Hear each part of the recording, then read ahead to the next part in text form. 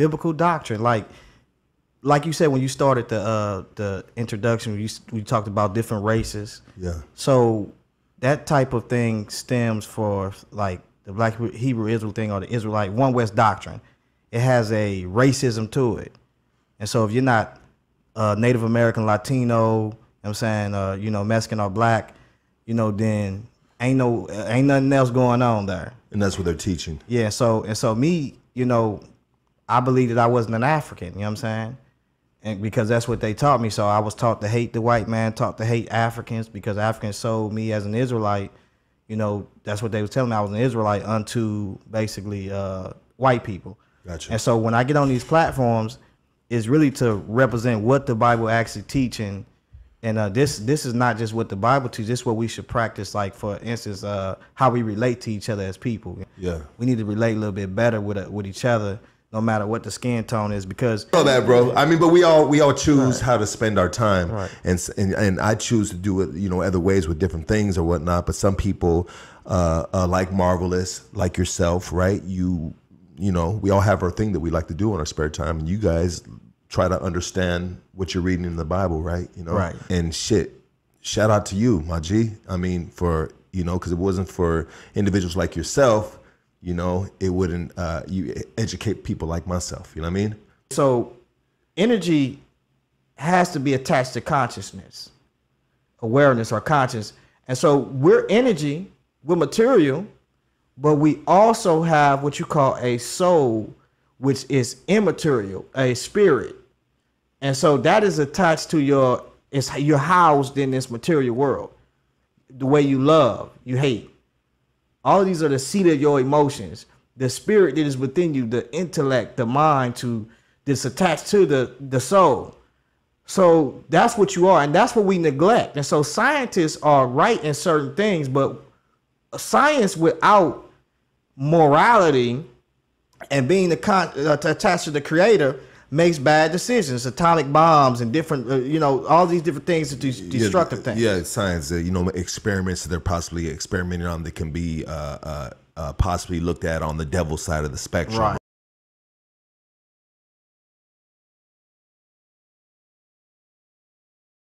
You know, God is good and evil, right? You know, not necessarily evil, but can, uh, if you don't repent, like we were talking about earlier, Right. can let you go and hit that fucking brick wall at 100 miles per hour in a fucking car. Why? Right. Because you didn't repent, you didn't redirect your spirit, right? You know, uh, god right? You know, not necessarily evil, but can, uh, if you don't repent, like we were talking about earlier, Right. can let you go and hit that fucking brick wall at 100 miles per hour in a fucking car. Why? Right. Because you didn't repent, you didn't redirect your spirit, right? You know, uh, god created evil. Yeah, and so what that means is when you look at the hebrew word right there is ra'ah uh. god created evil. Yeah, and so what that means is when you look at the hebrew word right there is ra'ah uh. god created evil. Yeah, and so what that means is when you look at the hebrew word right there is ra'ah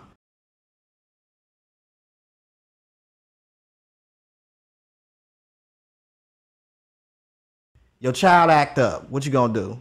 If you keep telling your child to act up and they keep acting up what eventually you gonna do? You gonna whoop their ass. you gonna bring calamity misery on. That's evil. Yeah, to uh, uh, cause people to conform to its way to where they can if i if they took the food out the neighborhood and stopped bringing foods to the market because they got control of it what's going to happen in the neighborhoods? Yeah, everybody going to start killing each other destroying each other just to eat even eating each other you know what that means it says man should not live by bread alone but by but but but by every word that proceedeth out the mouth of god so what that means is we need instructions from god you know, God is good and evil, right? You know, not necessarily evil, but no, God is good and evil, right? You know, not necessarily evil. I want to give all the praises and the honor to Yahweh Bahashem, Yahweh Shah Bahashem, Ruach HaKodesh, and double honors to the elder apostles and the elder bishops of Great Millstone. Also, sincere shalom to you other elders, Akim, you brethren, you few sisters, you followers of the truth. Let me say shalom to the elect. Okay, I want to go in this video here. Um, it's titled, it's called, it's the channel Hood Stocks. Uh, the channel's titled "Debunking." The video's titled "Debunking Black Hebrew Israelites." GCon number 65. Now, the first thing I got out of the video from the beginning is when they set these platforms up, it's automatically a staged event, meaning the uh, interviewer is not trying to learn anything new out of it.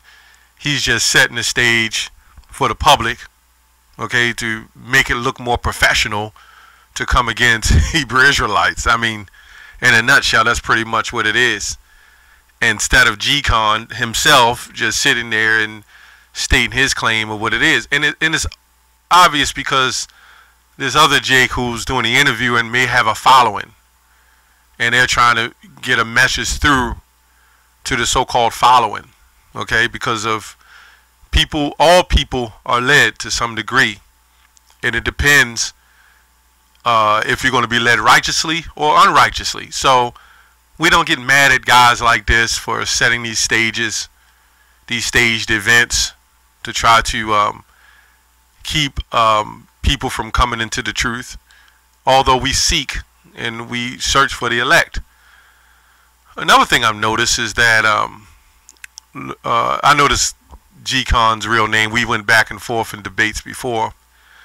Um, but the scriptures uh, in Apostle Paul said, even does doth nature teach you to have long hair is a sin. Now he'll say, well, we're not under the law, but you know Romans six, I believe fourteen says, shall we sin because we are uh, not under the law but under grace? God forbid. Why was he saying that? Because that's the notion of keeping the law to the best of your ability. Yeah, we under grace because that's a form of mercy. You can't do certain things, but you're in violation of the first commandment if you don't try to keep the law to the best of your ability. And that's loving the Lord with all your heart, strength, and soul. I also noticed that these uh, Christians now are wearing beards. I don't know if it's the trend from us being Hebrew Israelites. A lot of things that he's saying as being a Hebrew Israelite, it still comes from us. A lot of things they're saying as Christians, they're learning from us. Quite a few things I heard these guys say that they learned from the Israelites. You know, and I, I see this quite frequently. Like in the statement, God create evil and cause you to die. And where did they learn that from? They wasn't teaching that in a Christian church 20 years ago, 10 years ago. He wasn't teaching that. They were teaching you the devil. Now notice they keep the devil out of the conversation. Wonder why. Because through all these debates, they are learning from us, Israelites. Anyway, further the lesson. This is not about a skin color. Now, it's because of quite a few one westers push that um, false uh, ideology, you know, about it's all about skin color. It's not all about skin color, but it, the basis of it from the most wicked uh, does show that. I'm, I'm just keep it like that. So at this stage of the game, you got our people who look as the complexion of other nations and look like other nations, right? So who's feeding these guys, these uh, Christians, um, their ammunition, so to speak, is other Israelites that are all about black.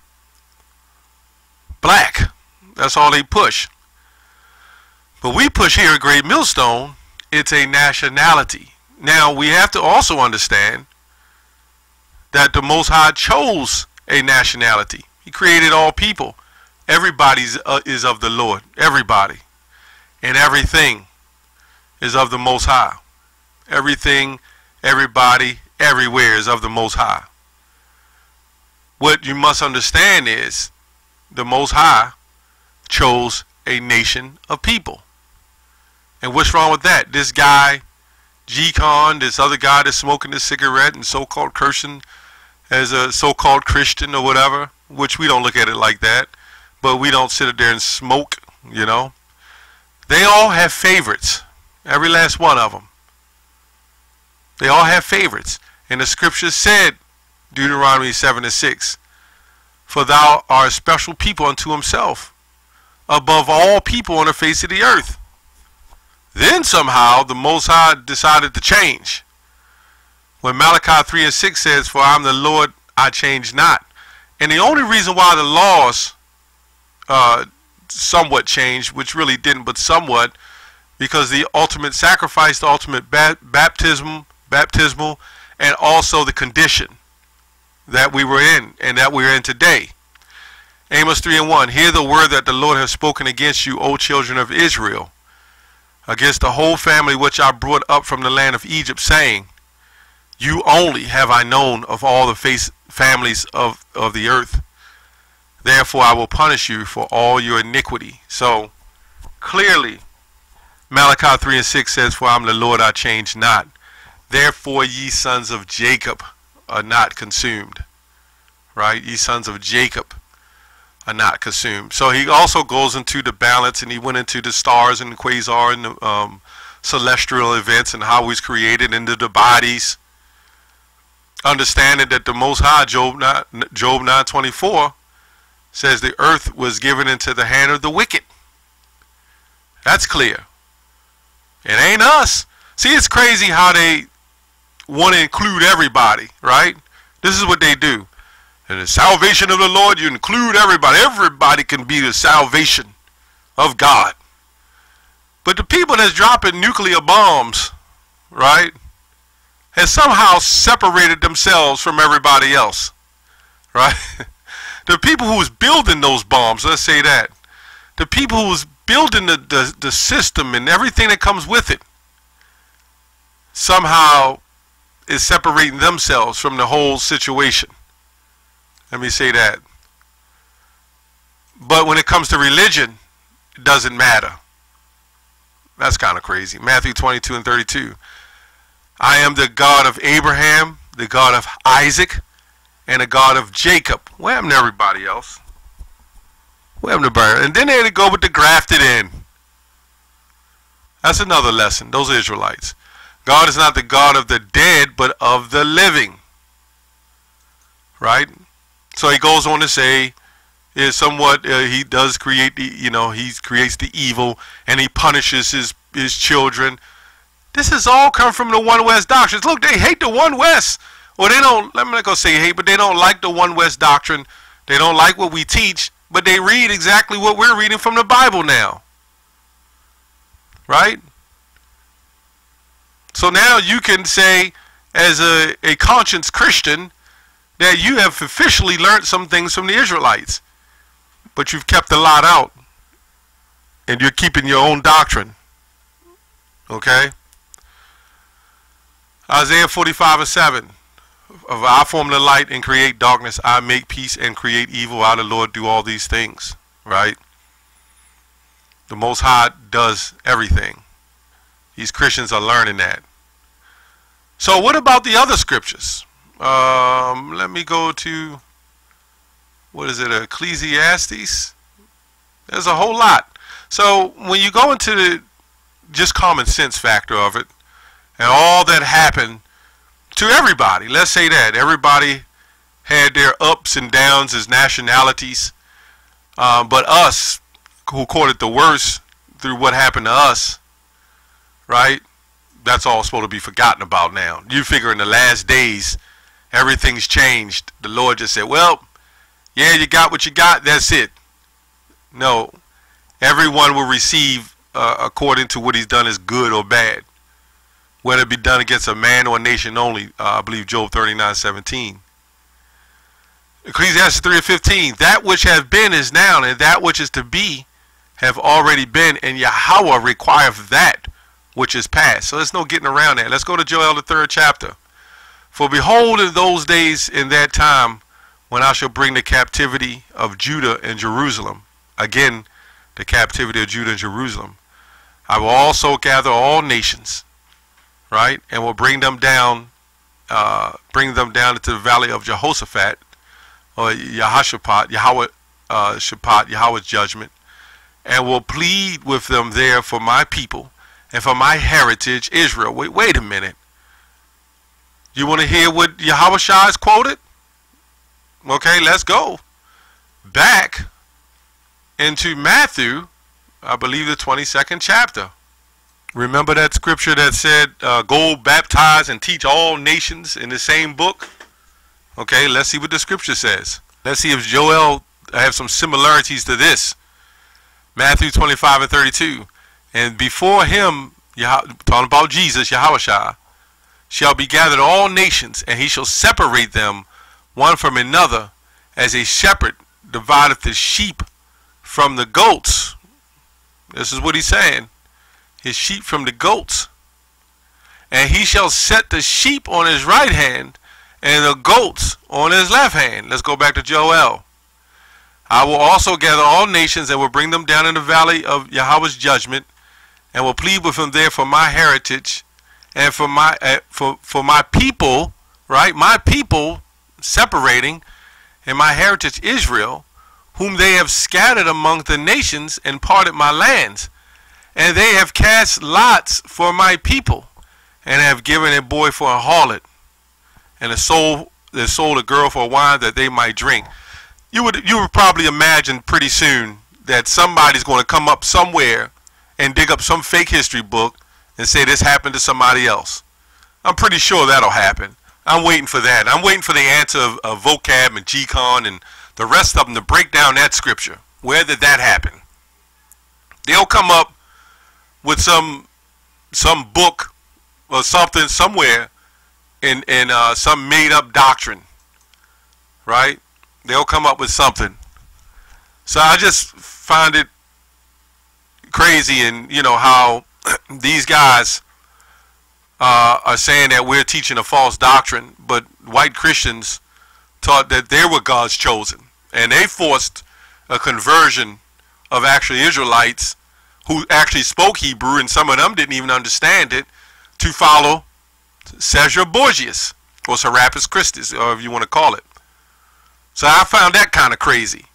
Nobody goes into history and discuss that. It's all about this new doctrine. See, the thing about religions, as long as everybody's allowed to follow any belief or religion, nobody has a problem with it. But even though you have hundreds of religions and denominations, maybe more, as long as people adopt themselves or, or partake in these false doctrines or the, all these religions, everybody's accepted by it. But the scripture says if you hold in the Bible, the Lord is not an author of confusion. So I don't, I don't understand why the you know the Christians. He talked about Mormons, and Mormons believe Gentiles are people who are non-Mormon, but that's not getting brought up like that. The attack is always on Jake because of the self-hatred. You got other Christians, way different denominations, different Christian hate groups, who are teaching crazy things. But like this guy and a lot of these jakes that are set up are only designed to come against us. I, I never understood that. I, I, I mean, I understand it because we'd be persecuted. But all these religions, as long as you believe in worshiping a lettuce god, nobody has nothing bad to say about it as long as everybody can be a part of it. If you really think about it, that's absolutely crazy because if you believe in a God or a power, you're still struggling for the belief that your doctrine is valid. That's all I have on that. Shalom.